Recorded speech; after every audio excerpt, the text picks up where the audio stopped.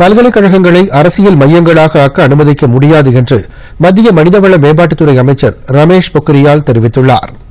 தில்லி ஜவஹர்லால் நேரு பல்கலைக்கழகத்தில் இரண்டு நாட்களுக்கு முன்பு முகமூடி அணிந்த மர்ம நபர்கள் மாணவர்கள் மற்றும் பேராசிரியர்கள் மீது கண்மூடித்தனமாக தாக்குதல் நடத்தினர்.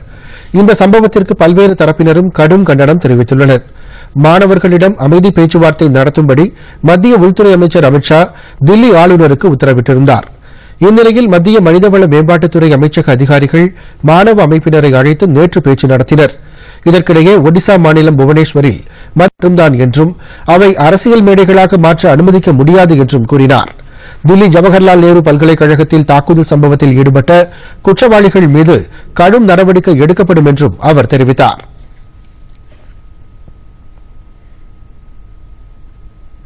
में शिक्षा का काम होना चाहिए ये मैंने पहले भी कहा है, किसी भी शिक्षण संस्था को राजनीति का अड्डा बनने नहीं दिया जाएगा, और इसलिए जो भी अभी आज विश्वविद्यालय के सभी अधिकारियों के साथ हमारे सचिव ने व्यापक चर्चा की है जो दोषी होंगे, उनके खिलाफ कार्रवाई होगी।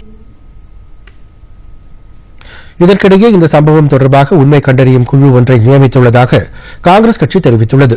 இந்த குழுவினர் ஒரு வாரத்திற்குள் நடந்த சம்பவம் தொடர்பாக கட்சியின் தலைவர் சோனியா காந்தியிடம் ஒரு வாரத்திற்குள் அறிக்கை அளிக்கும் என்று காங்கிரஸ் வெளியிட்டுள்ள செய்திக்குறிப்பில் தெரிவிக்கப்பட்டுள்ளது. இதற்கிடையே இரண்டாயிரத்து இருபதாம் ஆண்டு குளிர்கால பருவத் தேர்வுக்கான பதிவு கடந்த ஐந்தாம் தேதியுடன் முடிவடைந்த நிலையில் நேற்று முன்தினம் நடந்த சம்பவத்தினால் ஏராளமான மாணவர்கள் அதற்கு பதிவு செய்ய முடியாத நிலை ஏற்பட்டதாக வெளியான செய்திகளை தொடர்ந்து பதிவு நடைமுறைகள் வரும் பனிரெண்டாம் தேதி வரை நீட்டிக்கப்பட்டுள்ளது என்றும் இதனால் மாணவர்கள் அச்சப்பட தேவையில்லை என்றும் ஜவஹர்லால் நேரு பல்கலைக்கழக பதிவாளர் பிரமோத் குமார் செய்திக்குறிப்பு ஒன்றில் தெரிவித்துள்ளாா்